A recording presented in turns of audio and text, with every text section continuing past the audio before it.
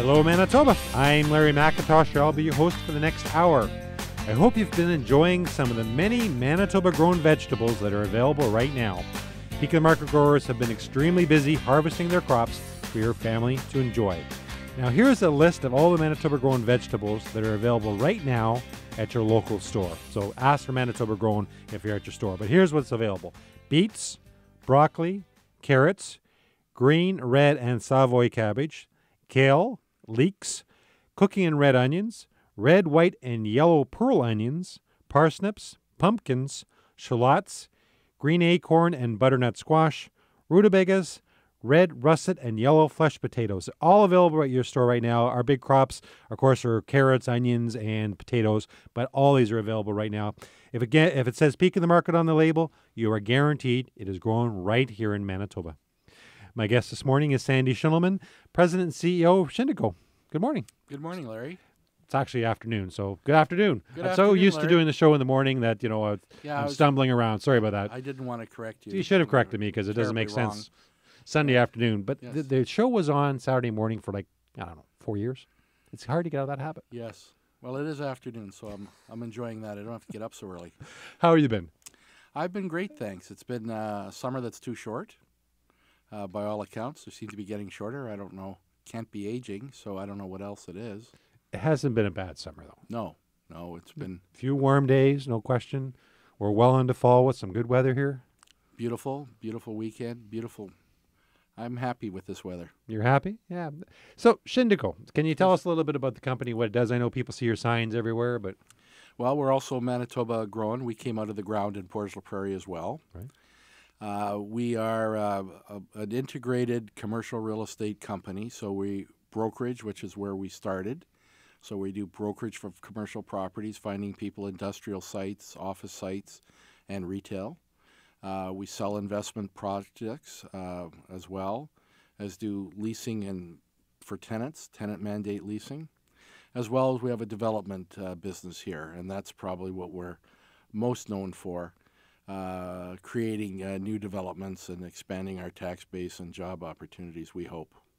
so would that be like shopping centers or, or strip malls? yeah, the or- range would be uh, we build in a lot of places where your growers are, from Winkler and Steinbach and Brandon and uh, Port La Prairie and Selkirk, of course. Uh, we really like uh, those markets. Uh, they've been good to us, and we've been able to build a lot of things there. But we build for Walmart. We have, uh, unfortunately, built for Target at once uh, as well. Uh, and uh, but Walmart, uh, Sobeys, Safeway, a lot of restaurant tenants uh, uh, have succeeded on our sites, ranging from Boston Pizza, which I think we've done about 25 of them, Dollarama, another Canadian success story. Uh, I think we've done about 30 of those. And uh, the usual suspects beyond that, as well as uh, residential uh, property management. So I have to do a shout out for Sarah at One Evergreen, who's your building manager there, and we've been talking to her recently. She's outstanding. We love uh, Sarah, and uh, all the folks that get to work with her love Sarah. She runs a great show, and we're very happy that she can make everybody comfortable. And she's been there a long time. Yes, I, I not as long as me, but almost. almost as long as you. So, are, are there new? I know there's new retailers coming down. Overwaitea Foods is coming to town. There was a big announcement not too long ago. Would are you involved in those type of ones as well? or- Yeah, we are in discussions with uh, Overweight E and their Save On brand, more particularly uh, for locations uh, in Manitoba and uh, possibly Saskatchewan as well. Uh, that'll be great. It'll be great if there's uh, an opportunity to backfill some grocery locations that may come available as a result of uh, past acquisitions and uh, mergers. Uh, they are going into some new neighborhoods, and uh, it'll keep it competitive here. The consumers are going to win Right. continue winning, I'd say. So, are there any new retailers coming to town that you can share with us? Uh, there's all kinds of people looking, Right. and um, uh, there's a little bit less urgency now for retailers until they get to understand a couple of things. Uh, an election, they want to know if there's any additional taxes that are going to affect their success here. Uh, as well, we still have, uh, we're in the hangover stage of uh, the target departure. Hmm. So while we're not necessarily directly competing with a Target box in all locations or a former Target box in all locations, there's enough of them in the country that the retailers are focused on picking up that cheap real estate Right. uh, in other markets. And as a result of them being old Zellers boxes, a lot of it is cheap and a lot of it is not so good either. But uh, it, it, it does create a little bit of a pall. But we seem to be coming out of it. The retailers are now looking again. Uh, we like, of course, uh, a mix of local, regional, and Canadian retailers as well. I think that the American retailers are not going to become any more aggressive with a low dollar because when they take these profits back, uh, it's not as exciting as it was a couple of years ago. And that makes sense, but I hadn't really given that a thought. But that does make sense when you when you say that. Yeah, well, we have uh, basically you know higher rents in Canada and higher operating costs with our tax base, and higher labor, uh, which is you know it's great that we can afford uh, we can afford that with our labor. Uh, everyone's happy that that can happen, but they just are a little bit more cautious because again, in their own home markets, their their markets are turning around, and so they're looking at opportunities that they may have passed over in the past. So, but it's it's fluid. People come, people go. Eaton's came, Eaton's went. Kmart, Woolco, Woodward's, uh, uh, Clark's, Tops, where I used to work, BiWay stores used to be around. BiWay, Yeah. Bargain Harold's. Yeah. So yeah, things things do change. The constant is we're still here. Yes, yes. Um, we're going to be here for a long time. We're speaking with Sandy Shindleman, President and CEO of Shindico, and we'll be right back after we take this break for your 680 CJOB weather. We'll be right back.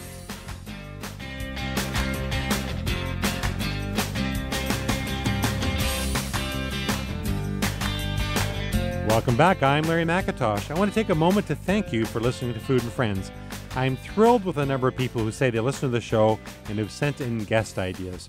Should you ever have any comments or suggestions about our show, please feel free to email me anytime at larrymcintosh at peakmarket.com. And Macintosh is M C I N T O S H. So that's Larry McIntosh at peakmarket.com with any suggestions you might have. We're back with Sandy Shindleman, President and CEO of Shindico. So you were just not too long ago, September 10th, you're at a, a big, big event, Ambassadors for Humanitarian Gala in Yes. Detroit, right? In uh, in Dearborn, Dearborn, okay, I was Dearborn, close. Michigan. Yes, I think you were close. Uh, it was uh, it was really incredible to see. Uh, it was almost 800 people there. Uh, it was in the Ford Museum, which uh, Henry Ford built in 1929, I've been there, yeah. and uh, I will go back uh, and take uh, my family to see it again. Notwithstanding, uh, my daughters do, did a project on Rosa Parks. We got a chance to take a picture inside the bus that she was on. Oh. I mean, it just every the farm equipment, the steam engines, uh, it was it was fabulous, and we will go back. Uh, Haley Berry was there. We got to see Haley and Steven Spielberg, and Bill Ford Jr.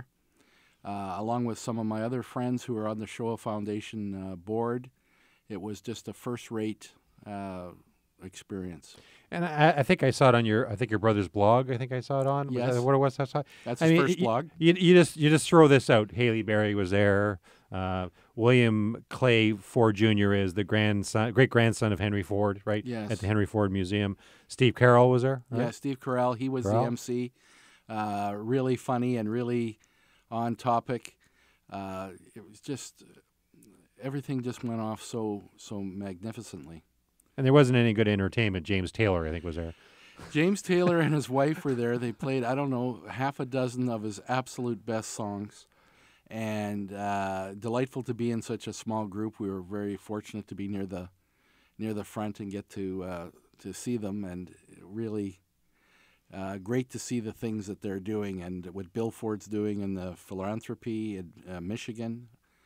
Uh, he's taking 30 people from his company, under 30 years of age, and training them and teaching them to be philanthropists. Uh, you know, it's uh, they do so many things, and there's so much to so many people in Michigan. It's uh, it's fabulous. Now, I was in Detroit a few years ago, probably three years ago now, and it's going through some tough times. A lot of people we're moving out. The car industry is taking a bit of a hit. So it's good to hear positive things coming out of there. Yeah, uh, uh, positive things, especially with Ford. But uh, they're doing so much, and they're you know they're boosters of uh, Michigan for sure.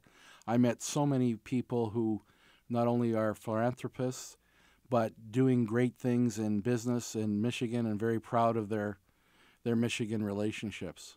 Uh, v- very pleased. There's a company there that's making watches. They're making bicycles again, which apparently is where Henry Ford started. Uh, some really interesting things.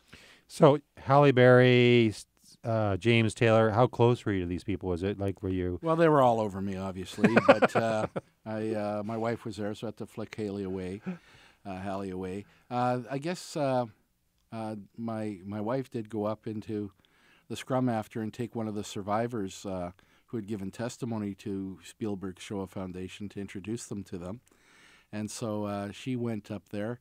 I didn't, but I guess we're you know within spitting distance, I guess. That's that's very neat. So that was the ambassador of humanity, Gadala. How did you end up getting there? I, only 800 people. Uh, well, we were very fortunate that um, a friend of mine from uh, Michigan was uh, the dinner chair, as well as uh, other friends of ours who are on the Shoah Foundation from New York. And uh, we talked about it, and they asked if we would come, and I said, absolutely. And uh, really, we'll do it again. We'll participate again. And notwithstanding, it's not likely to be in that venue. Mm-hmm. Uh, we'll definitely go back and take my nephews, etc., to see that venue and spend a couple of days in it. I would think. Very neat. See, we were talking off air. You travel quite a bit because you teach, right? I do. Uh, I teach for the CCIM Institute, which is a Chicago-based commercial real estate uh, organization. I've been doing it since 1980, so 35 years Wow. now. Uh, I don't go out as much as I used to. I used to do about four weeks a year. Uh, I can't volunteer that much time anymore, but I still participate at the national level. I'm on the board of the Education Foundation that raises scholarships for people to take these classes in the commercial real estate field. So I always think it's kind of neat. I mean, you're from Portage la Prairie. You're living in Winnipeg now. Got lots of developments, and I know you do more so outside of Manitoba. You do properties outside of Manitoba too. But here you are flying all over North America, and I think even overseas to talk about this. Do you ever speak about these things in Manitoba? Uh, rarely, although I am uh, in October. I'm I'm doing a four-day uh, CCIM 102 class in in Winnipeg. So Oh, it's wow. Two, two days, and then a weekend, and then another two days. But it's rare that I do uh, classes here because I always feel an expert is somebody who's at least 500 miles from home. And that, that that's kind of my point, right? I, I've been asked to speak at conferences elsewhere in Canada, not so much in Manitoba, although I've been asked to speak at various events. But all the big ones tend to say they're in Manitoba. They're looking for people from Toronto or Vancouver to come in and talk. It's kind of an odd thing in some ways. I think it's in every industry. Yeah. Uh, the local people go elsewhere, and the people that are local elsewhere are here. Not that I have the expertise that you have about any subject, so I won't say that you know I should be speaking these things because You, you should certainly be. um, you should uh, be, you know what you're talking about when it comes to or real prepared to make it up. Well, yeah, if you make it up with confidence, that works too, right? Absolutely. So, do you do you like to travel? Uh, not as much now. They've certainly taken the glamour out of it. You know, tiny airplanes, wider butt, uh, not so many options in terms of times coming and going. It's not certainly as glamorous as it used to be, uh, but I, I do it. I do it for our industry to give back to our industry uh, and our institute, and also to uh, look for opportunities to promote. We're speaking with Sandy Shindleman. We'll be right back after this.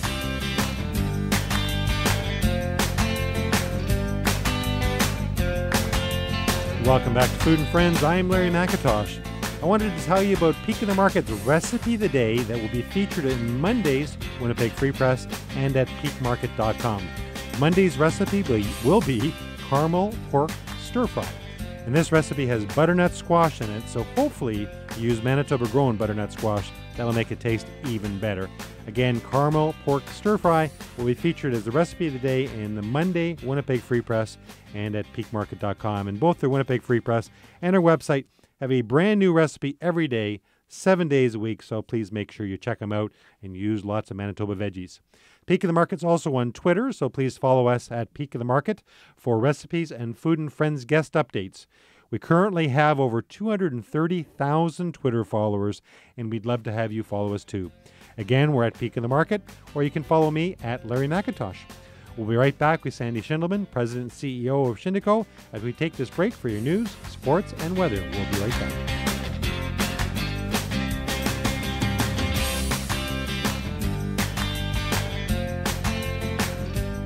Welcome back. I'm Larry McIntosh. It's hard to believe, but the children have been back to school for a few weeks now, and it's fundraising time. For all of you that are involved in a school or daycare fundraiser in some way, I wanted to tell you about the Farm to School Manitoba Healthy Choice Fundraiser. This fundraiser is open to all Manitoba schools, public or private, K 12, and all licensed daycares anywhere in the province of Manitoba. Basically, the fundraiser works like this. The students sell bundles of Manitoba grown, peak of the market vegetables to raise money for their school or daycare. It could be to raise money for a school band trip, sports tournament, new equipment for the school, whatever it might be. Bundle A has uh, carrots, cooking onions, red potatoes, and sells for $10. Bundle B has larger packs of carrots, red potatoes, and cooking onions, as well as green cabbage, parsnips, and it sells for $20. Now, the great thing about this fundraiser is that the school or daycare keeps half the selling price, a 50% profit, and that's great for any fundraiser, and it's healthy too. Last year, this fundraiser raised over $410,000 for Manitoba schools and daycares. Fundraiser began last week and runs until December 9th, so you can get all the information again. It's open to any school or daycare anywhere in Manitoba, and Peak of the Market growers are going to get it there by truck, by train, or even if they have to fly it into a community, they'll take care of getting that there. So it's one price for the whole province. If you're interested in getting more information on the Farm to School fundraiser or to register your school or daycare, please visit their website at farmtoschool.ca. That's farmtoschool.ca. We're back with Sandy Shindleman, President and CEO of Shindico. Uh, do you like vegetables? I love vegetables. I got to make sure my daughter's school gets in on that. Uh, uh, we can buy a lot of vegetables. You can buy a lot of vegetables and help the school out. It's a win-win. It's uh, fabulous. What about white potatoes? Well, we sell white potatoes, but red potatoes are the important potato. In, do you know in Manitoba? And you know, I'm, we're not talking about you now, but in Manitoba, 80% of the potatoes that we eat are from Manitoba or far, are red potatoes, I should say. Our red? Are red potatoes. If you go to Ontario, which is where I was born, it's five percent of the sales is red potatoes. They eat russet potatoes, mostly PEI potatoes there. Well, we love the potatoes here. Uh, we only have them once a day. Once a day? Well, we'll work on that because there's three meals a day. What other well, vegetable? Does hash browns count? That absolutely counts. Uh, maybe twice a day. Twice a day. French fries count? Absolutely. Or maybe it's three times a day. Well, there you go. We're up to it. on me anymore. You're getting your uh, five to ten servings a day right there, almost. So you should get your daughter to do the fundraiser. oh, I will. But uh, just to talk about the fundraiser for a moment, the neat thing we we did a launch last week uh, at Winnipeg Harvest for the Farm to School program, and what I really found, we're encouraging people this year to buy a bundle for their family in order to help out the school or daycare. But if they can afford it, can buy an extra bundle for their local food bank. That's an excellent idea. Last year, when we looked at the numbers, out of every 100 bags, 11 of them were donated to local food banks. So basically, one in 10 people bought an extra bundle or just donated one to the local food bank. I think that's fantastic. I think it's fantastic too. And we'll, we'll make sure that we do the same, especially since you deliver them Well, absolutely. On time. on time. So, being in the real estate business, have you seen things change over your career?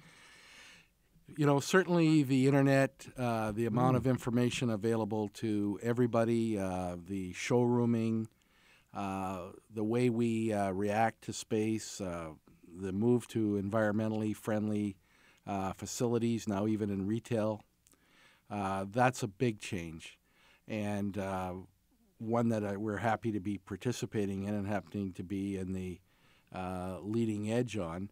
Uh, lots of changes, uh, lots of sophistication. The demographic reports and studies that we do in our our office, uh, hundred miles ahead of where they were uh, even a decade ago. You know, we don't we don't put a ring about around something and say, well, in five miles, this is who lives there.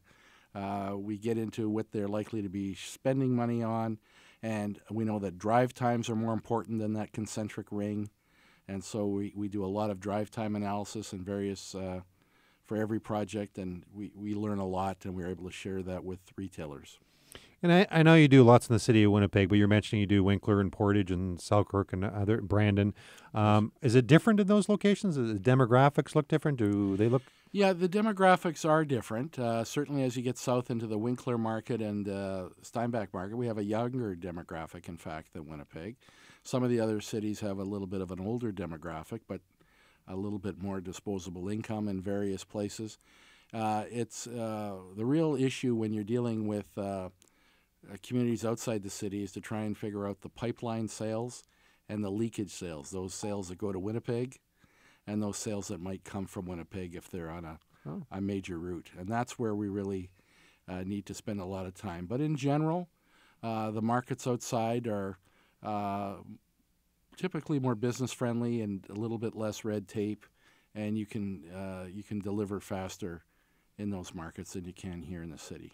So communities like uh, Winkler and there's there's Morris and Altona and various ones in southern Manitoba where a lot of our growers are, are they affected dramatically by um, the U.S. dollar, Canadian dollar? Do they do they go south more? Do, how does well, that work for a retailer? I think that uh, the retailers are going south less. Actually, the American retailers are a little slow coming up now with our with our dollar, but we're keeping a lot of spending at home and uh, you know that's certainly going to have an impact on jobs and and values up here.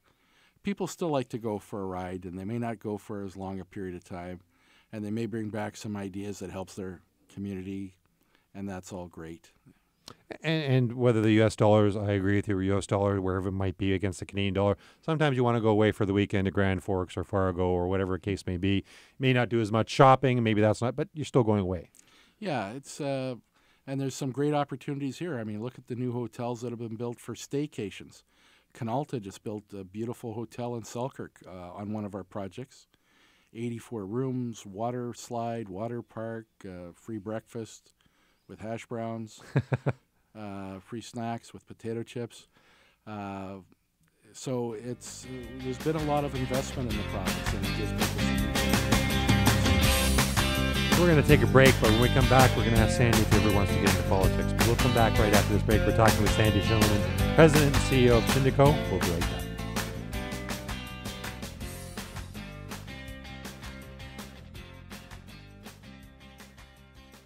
Welcome back. I'm Larry McIntosh. Food and Friends Radio is on TV.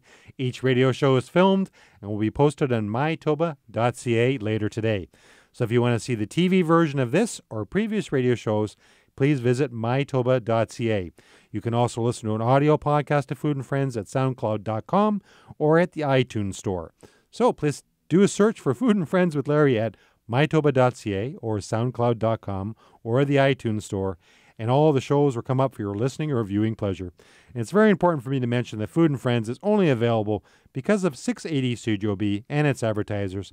So please make sure you tune in here every Saturday, Sunday, Sunday afternoon at 1 or listen live at cjob.com. We're back with Sandy Shindleman, President and CEO of Shindico. I asked you before the break, are you going to get into politics? And I was just kind of throwing it out there. What are you, uh, are, are you thinking of it at all? Is that something I that think interests I'm you? not running for politics. Maybe running from politics, It would be uh, uh, more to the case. I know that uh, when we were in uh, Michigan and hearing the speech, uh, acceptance speech from Bill Ford Jr., All right. I immediately thought this person should be running for president.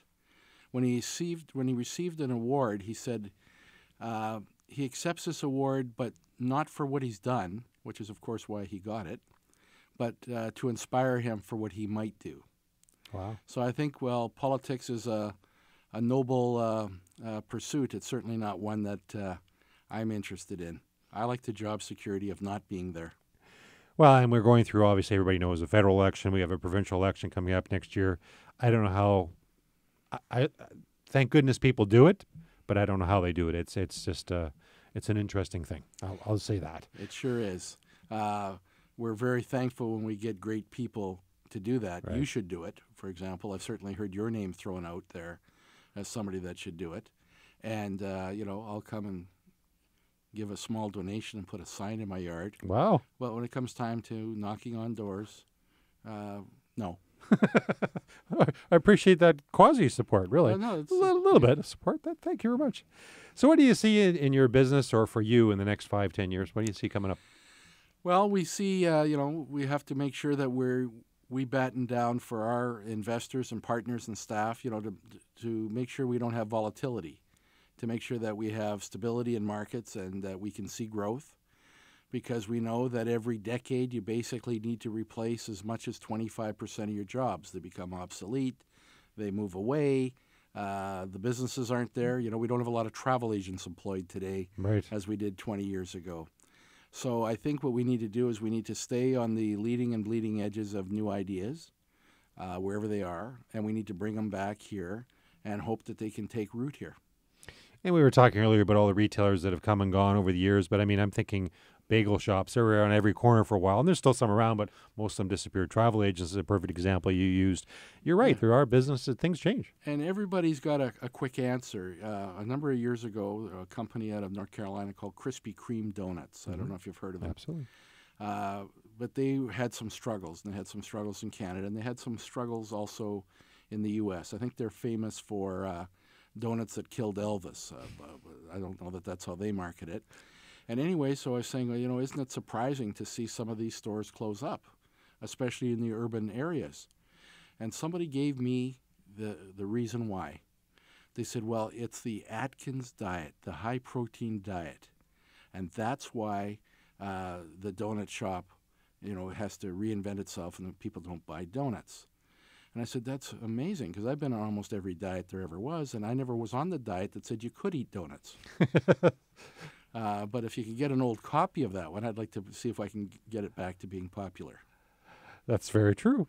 So, do you see? What do you see a trend? Do you see a trend in a new type of retailer or spas or what? What? A lot of uh, personal services. Uh, you know, dental offices are getting bigger and more comfortable and more inviting. Uh, certainly, uh, you know, the ancillary medical things, the dermatologists that have uh, uh, expanded and, and grown and are trying to do the same thing on, on uh, Academy, and I think that that probably went through. Uh, lots of changes on personal services. You're not going to buy that on the internet. I don't think you're going to get your teeth fixed on the internet or get your hair cut on the internet. Good point. Yep. But uh, so we like to see a lot of services, a lot of things that gyms are now popular. They were the least popular tenant you could have in a retail environment. Now they're sought after. Hmm. That has changed. Yes, that's a big change. I visited a gym once. You did? Yeah.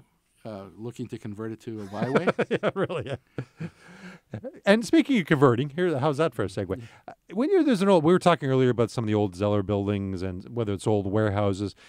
And when new tenants come in, do they want to have their own building and their own size with their own, like, or are they repurposing these well, buildings? they they try, and uh, Walmart has been pretty good at it. But basically, all these stores are on plan. You should be able to walk in the same number of steps, turn left the same number of steps, and uh, you know, and pick up a pair of blue socks. Right.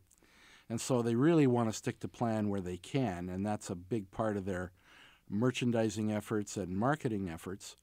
Uh, some of them are difficult to repurpose. There's no question about it. And uh, a lot of accommodation needs to be made. So I think a lot of these stores uh, may wind up being something other than retail. And if you look at warehousing, our, our warehouse up in King Edward, our, our distribution center is was built in 1962, and it's got low ceilings. And you would never go into a building like that today. I mean, it's a fantastic location because it's right in the city. But you would look at, you'd want to have four stories high or whatever it is now. So a lot of a lot of people would look at that too. I would assume. Lots of things changed. The way transportation and trucking has changed has really uh, dictated the size of truck courts you need for a new industrial building.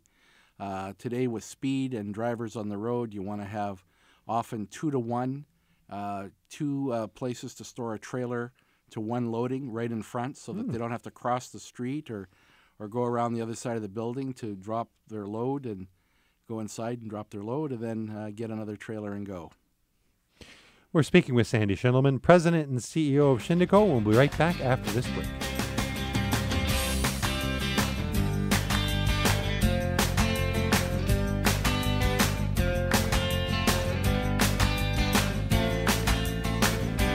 Welcome back to Food and Friends. Please join me next Sunday at 1 o'clock when my guest will be Andrea, Adriana Finley, the Farm to School Manitoba Coordinator. Adriana will tell us about Farm to School program and how it can benefit students both for their schools and daycares and health-wise.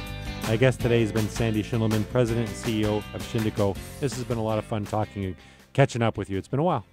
Well, it has been, and I really enjoy doing it and seeing you and Shelley at any opportunity I'm going to be there.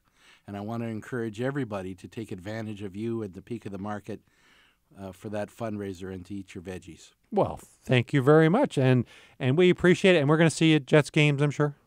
Yes, you are. Uh, I missed the the Tuesday night game. I did see it on uh, on television. Are you are you moose? Are you going getting moose tickets too? I am going to Oh, go. We'll see Uh, and uh, you won't see me also at those exhibition games. but for regular season, we oh, will yes, see you. yes, yes. I'll, I'll be coming out. Thank you, Sandy, for being on Food and Friends. Thank you. Thanks to 680 CJOB's Nicole, who produces our show, and Riley, who operates the camera, as well as the teachers of the Broadcasting and Media Arts program at Tec Voc High School. And thank you for listening. Take care, and please don't forget to eat your veggies. Thank you. That